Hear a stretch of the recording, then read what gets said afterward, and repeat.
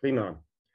Ja, die Untersuchung ist schon mehrfach angesprochen worden. Es gibt zwei Trassen, eine Untertrasse und unsere Aufgabenstellung war, diese Trassen näher zu beleuchten und zu prüfen, ist denn die Machbarkeit einer Radschnellverbindung auf den dargestellten Trassen möglich?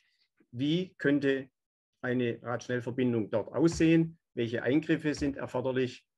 Und welche Auswirkungen hat so eine Radschnellverbindung? Nochmal die Trasse im Zusammenhang. RS5 von Schorndorf über Weiblingen-Fellbach nach Stuttgart. Und Sie sehen auch in der Fortsetzung soll das natürlich dann in Stuttgart an weitere Radschnellverbindungen und Achsen angebunden werden. Und Sie sehen auch in dieser Darstellung, dass es noch mehrere Varianten im Verlauf, im Streckenverlauf gibt. Also nicht nur in Fellbach, sondern auch äh, Kernen, Weinstadt und anderen Abschnitten gibt es noch genau diese Fragestellung, welche Trasse ist die sinnvollste.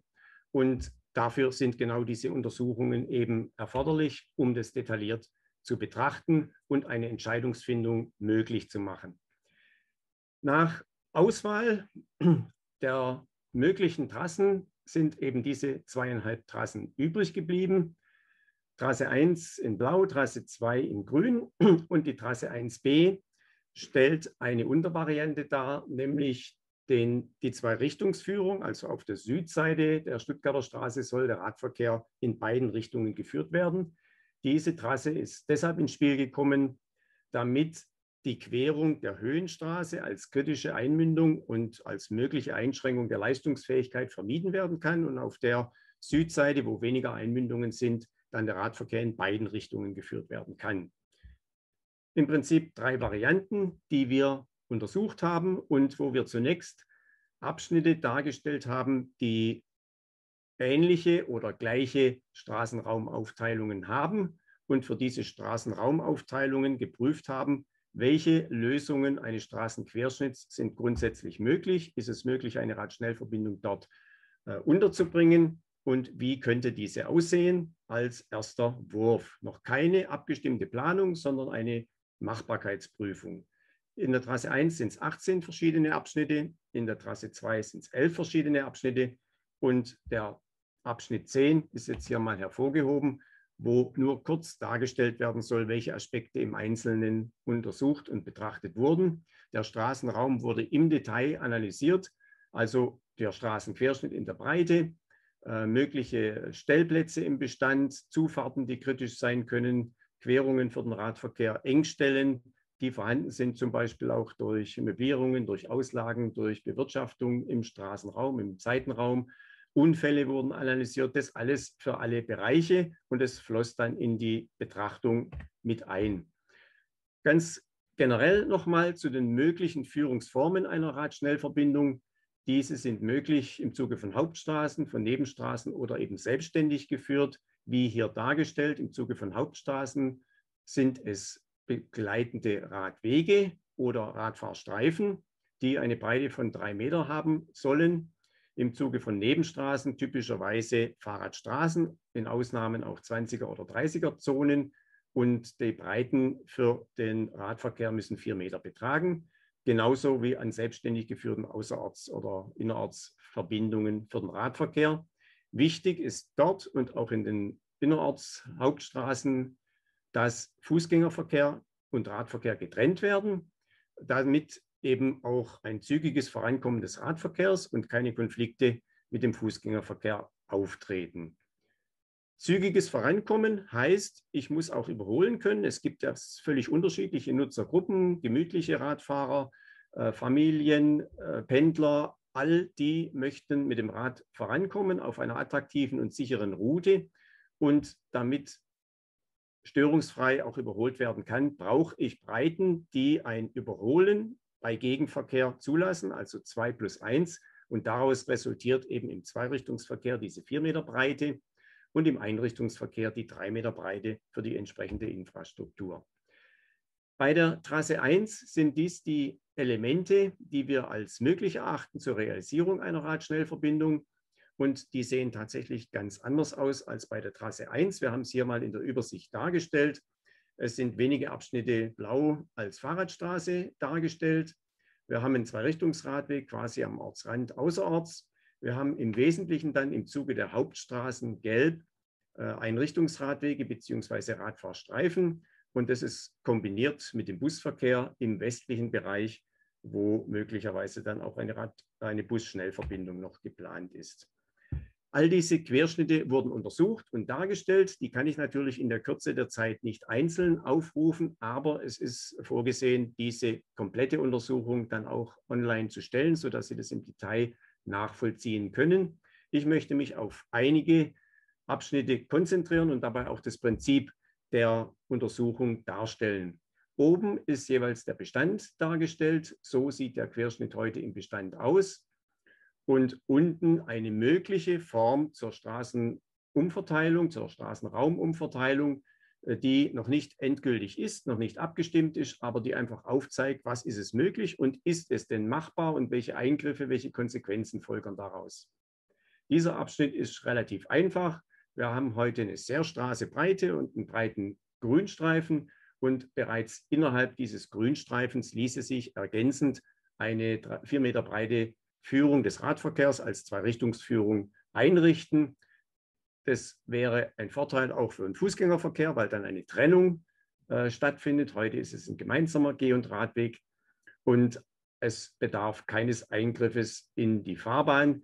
Das ist aber ergänzend möglich, wenn man sagt, man möchte hier auch nachhaltig den Straßenquerschnitt ändern. Die Fahrspuren sind überbreit.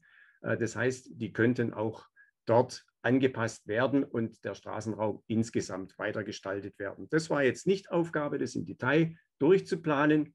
Ähm, es ist wichtig aufzuzeigen, wie könnte es aussehen und welche Eingriffe hat es. Und hier sieht man, bleibt auch noch Platz für Grün übrig. Es bleibt Platz übrig, zum Beispiel den Straßenraum weiter einzuengen, sodass auch Platz für weitere Bäume und für Begrünung möglich wäre. Das zieht sich ein wenig durch den ganzen Bereich äh, bei der Trassen, dass durchaus eine Gestaltung und eine Aufwertung möglich ist, wenn der Straßenquerschnitt neu aufgeteilt wird und verändert wird. Schwierig wird es im zentralen Bereich und da haben wir heute eben eine sehr dichte äh, Nutzung des zentralen Bereiches, eigentlich viel zu schmale Radwege, viel zu schmale Gehwege und es wird auf beiden Seiten geparkt. Es ist möglich, und das haben wir zunächst mal auch fast durchgängig so ansetzen können, dass die Spuren erhalten bleiben, sodass keine Einschränkungen in der Leistungsfähigkeit zu erwarten sind. Die Spurenbreite kann angepasst werden. Äh, was hier nicht möglich ist, um eben einen drei Meter breiten Radweg zu erreichen, ist die Parkplätze zu erhalten. Also in dem Bereich müsste dann auf Parker bzw. auf die in der Parkreihe positionierten Bäume verzichtet werden. Sie könnten zwischen Radweg und Gehweg eingerichtet werden. Und es sind sicherlich auch hier noch weitere Anpassungen möglich, wie überall bei diesen Querschnitten gilt, äh, sodass da also durchaus noch Spielraum besteht. Ähm, hier ist die Machbarkeit geprüft. Im Bereich am Stuttgarter Platz haben wir sehr beengte Verhältnisse, aber auch da schaffen wir es, dass alle vier Fahrspuren erhalten werden können. Es sind nur sehr wenige Parker, die aber doch relativ viel Platz, zwei oder drei Parkplätze, die sehr viel äh, Platz beanspruchen und die müssten im südlichen Bereich dann auch entfernt werden. Und der Platz wäre ausreichend für einen drei Meter breiten Radweg. Allerdings der Sicherheitstrennstreifen wäre hier äh, nicht dem Regelmaß entsprechend, aber punktuell sind eben auch Engstellen nötig und möglich.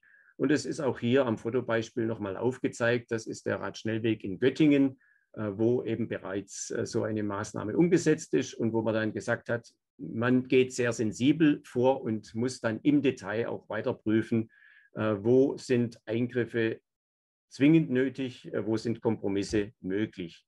Eine Radschnellverbindung erlaubt, dass nicht 100 Prozent der Radschnellverbindungsstandard erfüllt werden muss, sondern eben nur zu 80 Prozent. 10 Prozent dürfen reduzierter Standard sein und 10 Prozent ein normaler Radverkehrsstandard. Das erreichen wir mit diesen dargestellten Maßnahmen und wir haben insbesondere auch noch Spielraum, äh, dann die Gestaltung entsprechend anzupassen. Wo es besonders eng und kritisch wird, es ist der Bereich hier, ähm, westlich der Esslinger Straße und wir haben hier auf der Nordseite einen Bereich, wo Radverkehr in beide Richtungen im Seitenraum fährt, weil einfach äh, Einkaufsmöglichkeiten bestehen und nur wenige Querungsmöglichkeiten und der Radverkehr hier äh, im Zweirichtungsverkehr fährt und das entsprechend auch berücksichtigt werden muss. Das ist hier rechts dargestellt, Zweirichtungsführung, weil der bestehende eben äh, Verkehr in Fahrtrichtung Osten auf der Nordseite auch zu berücksichtigen ist. Entsprechend haben wir einen schmäleren äh, Radweg in Fahrtrichtung Westen, in Fahrtrichtung Stuttgart. Aber es ist möglich, auch hier äh, die Radverkehrsführung einzurichten. Allerdings, indem der vorhandene Grünbereich dort vor dem Gebäude dann auch tatsächlich asphaltiert wird und der Bereich erweitert wird zugunsten eines äh, Gehweges dann. Hier haben wir also eine Engstelle beziehungsweise benötigen Flächen in dem Grünbereich es bedarf einer Aufweitung, damit auch tatsächlich eine sichere Führung möglich ist in dem Bereich. Und wir sind hier im Bereich ja, Nord- und Südseite getrennte Führung des Radverkehrs. Auf der Südseite kann die überbreite Spur bzw. die äh, Spurtrennung dort aufgelöst werden. Es kommt zu einer normalbreiten Spur und erst dann ist es möglich, im bestehenden Straßenraum dann auch einen Radweg anzulegen ohne Eingriff in das benachbarte Grundstück tätigen zu müssen. Die Variante 1b sieht ja vor, dass der Radverkehr im Bereich der Esslinger Straße die Straße queren muss und nur auf der Südseite im Zweirichtungsverkehr geführt wird.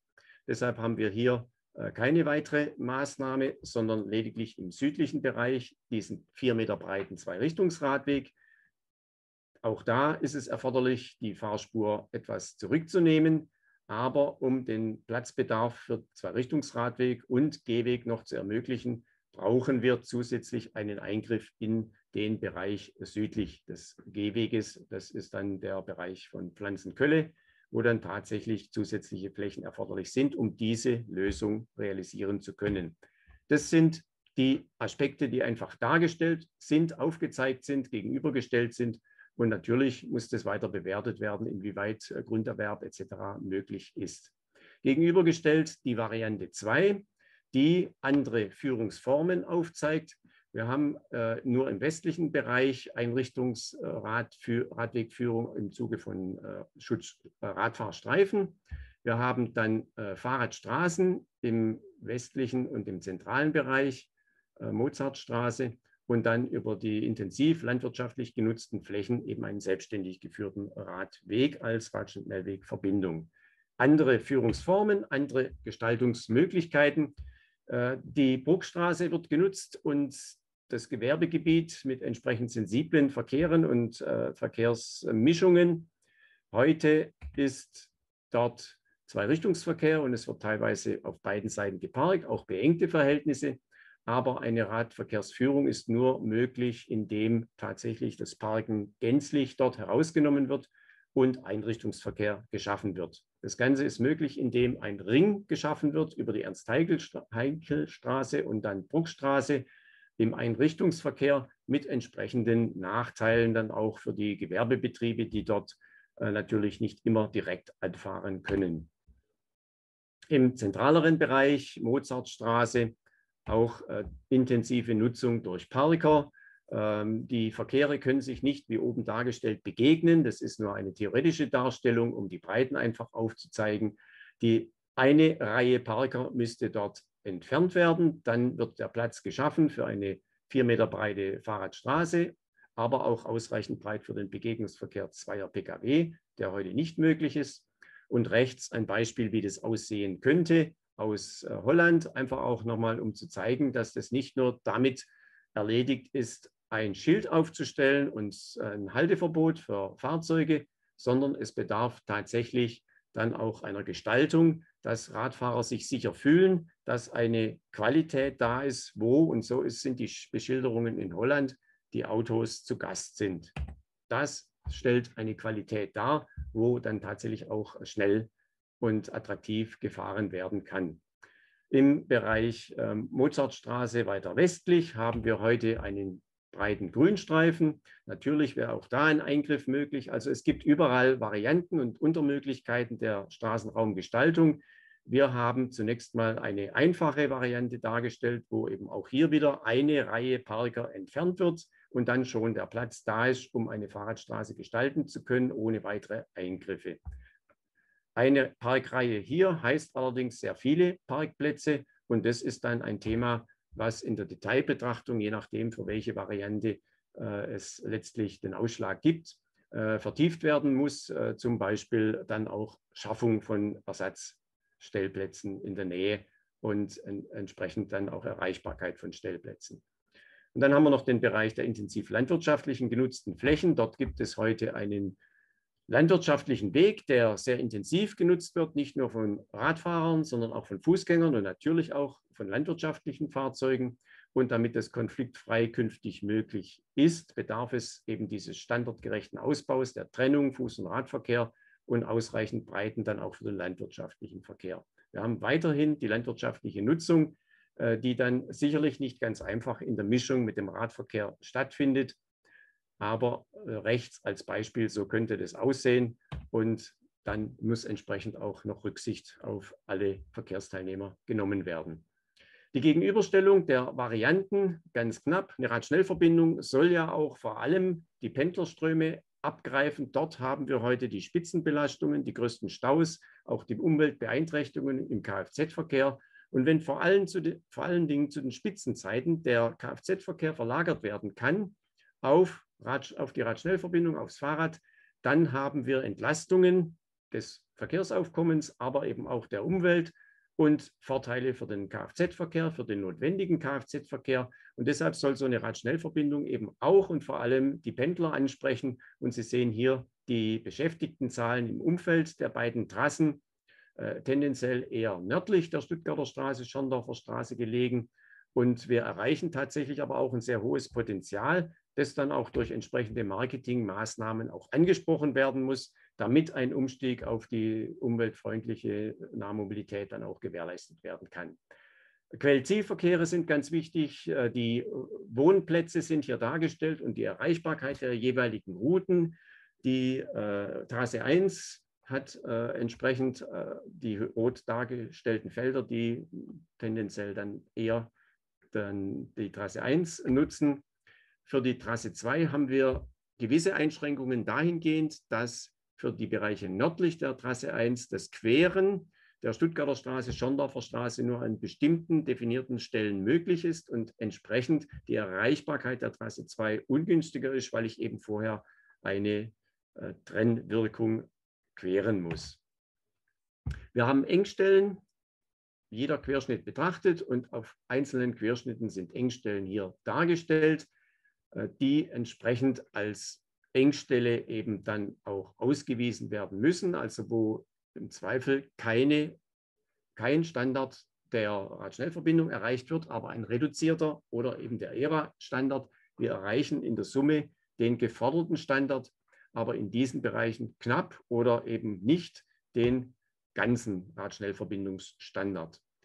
Wir haben Bereiche, wo wir definitiv Flächen erwerben müssen, damit der Standard, den wir jetzt mal angenommen haben, dass er erreicht werden kann, äh, dass er aber mit diesen zusätzlichen Flächen auch erreicht wird, differenziert nach öffentlich und privat bebauten Gebieten. Und das ist ganz wichtig, weil privat äh, genutzte Flächen natürlich dann auch entsprechend schwerer äh, erworben werden können. Das sind unterschiedliche Flächen und insbesondere im westlichen Bereich haben wir aufgrund der Parzellierung der Felder dann auch eine Vielzahl von Eigentümern, mit denen es dann zu diskutieren gilt. Ganz wichtig bei der Entscheidungsfindung, es wären 97 äh, Eigentümer, die bei der Trasse 2 dann betroffen sind durch eine entsprechende Verbreiterung des vorhandenen landwirtschaftlichen Weges. Wir haben eine unterschiedliche Struktur auch der beiden Trassen. Äh, die Trasse 1 äh, geht im Zuge der Hauptstraße und man fährt natürlich bevorrechtigt, muss aber an den Signalanlagen warten. Da muss man schauen, dass man den Radverkehr auch künftig in die Signalisierung mit einbinden kann und möglichst ohne lange Wartezeiten auch über die Knotenpunkte führt. Im Zuge der Nebenstraßen soll der Radverkehr grundsätzlich bevorrechtigt sein, aber auch äh, in der Trasse 2 habe ich Straßen, die bevorrechtigt sind ähm, und entsprechend der Radverkehr warten muss. mit entsprechenden Zeitverlusten, die zu kalkulieren waren und wo entsprechend auch Nachteile bei der Trasse 1b festgestellt wurden. Denn dort muss die äh, Straße zweimalig zusätzlich gequert werden, an der Esslinger Straße und an der Beskidenstraße, um auf die Südseite zu kommen. Dies ist mit so großen Zeitverlusten verbunden, äh, dass die Trasse 1b durchaus den Qualitätsstandard nicht erreicht für die Zeitverluste, die anzusetzen sind und erlaubt sind. Der Straßenraum wird umverteilt. Es gibt äh, eine Reihe von Notwendigkeiten, wo tatsächlich bestehende Bäume auch gefällt werden müssen. Aber es ist in der Regel auch Platz, neue Bäume zu schaffen oder als Trennung dann auch zwischen Geh- und Radbereich äh, mittig Bäume zu bepflanzen. Äh, durchaus in längeren Abschnitten, sodass man auch von einer Stadtqualität, von einer Aufwertung sprechen kann und vielleicht sogar nicht von einer Radschnellverbindung, sondern von einem Radboulevard. Äh, gerade bei der Trasse 1 äh, sind da eine Vielzahl an Möglichkeiten, den Bereich aufzuwerten. Die Trasse 2, da ist ja vor allem auch die Führung auf der Fahrbahn im Mischverkehr mit dem Kfz-Verkehr als Fahrradstraße gegeben. Auch da gibt es Möglichkeiten, sicherlich weitere Bäume oder Begrünungen äh, zu machen. Ist jetzt hier äh, erstmal aufgrund der Bereiche, wo es schon Grün gibt, nicht zusätzlich dargestellt. Aber wir haben in der Bilanz von Trasse 1 äh, durchaus die Möglichkeit, da weiter zu begrünen und die Bilanz sieht positiv aus. Bei der Variante 1b äh, sind die Eingriffe größer und auch da sind entsprechend äh, Bäume äh, zu entfernen und weniger die Möglichkeit, neue zu ersetzen. Da ist die Bilanz negativ. Die querenden Nebenstraßen sind ein Aspekt, weil auch die Sicherheit und Flüssigkeit wichtig sind. Wir haben bei der Trasse 1 äh, weniger Nebenstraßen und die in der Regel auch gesichert und signalisiert.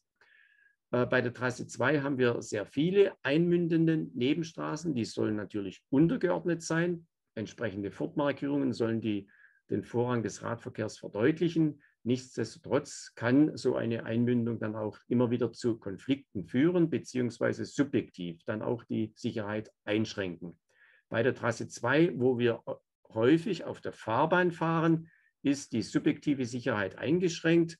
Bei der Trasse 1 sind wir überwiegend im Seitenraum auf eigener Trasse, getrennt von Fußgängern, getrennt vom Kfz-Verkehr. Das erhöht die subjektive Sicherheit.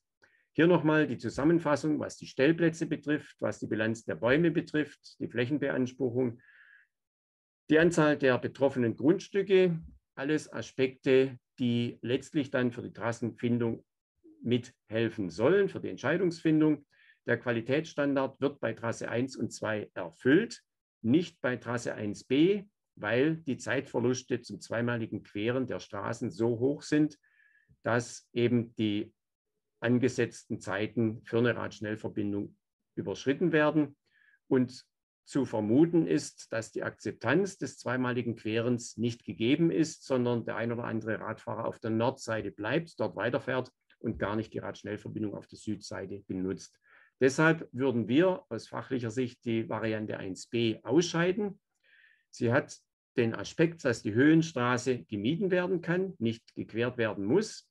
Bei der Trasse 1 haben wir als Führungsform am Knotenpunkt dann aber eine planfreie Querung als Unterführung unter der Höhenstraße angedacht, sodass dort keine Zeitverluste entstehen, allerdings eine Unterführung gebaut werden muss. Ein plangleiches, also niveaugleiches Queren wäre mit Zeitverlusten verbunden und hätte auch Leistungsfähigkeitseinbußen. Das erscheint uns an diesem sensiblen Knotenpunkt nicht möglich. Dort sind einfach wichtige Ströme aufeinander, äh, beieinander, die auch äh, von der Leistungsfähigkeit erhalten bleiben müssen. Unterführung durch die Höhenstraße bei Trasse 1, 1b eher auszuscheiden. Grundsätzlich sind beide Trassen 1 und 2 möglich. Die Machbarkeit ist nachgewiesen und es gibt eine Vielzahl an Möglichkeiten, den Straßenraum weiter aufzuteilen, zu gestalten. Wir haben die grundsätzliche Machbarkeit dargestellt und dabei eben auch festgestellt, dass es möglich ist, weiter zu begrünen, aufzuwerten und dass es gerade in Fellbach mit der dichten Bebauung durchaus eine Chance ist, den Straßenraum aufzuwerten, qualitativ hochwertig darzustellen und entsprechend dann auch äh, so attraktiv zu gestalten, dass er nicht nur von den Pendlern, sondern auch an, in, in, der Freizeit genutzt wird. Das ist die Radschnellverbindung 1 äh, im Ruhrgebiet. Und diese wird auch von den Wochenendradfahrern sehr intensiv genutzt, auch von den Pendlern genutzt. Wichtig ist, dass dann auch das umliegende Radnetz attraktiv gestaltet ist, dass die Anbindungen vorhanden sind. Und dann bin ich auch schon fertig. Die Radschnellverbindung ist eine Chance und sie erhöht und kann die Stadtqualität erhöhen. Freut mich, wenn das mit einer Radschnellverbindung dann möglich ist. Vielen Dank.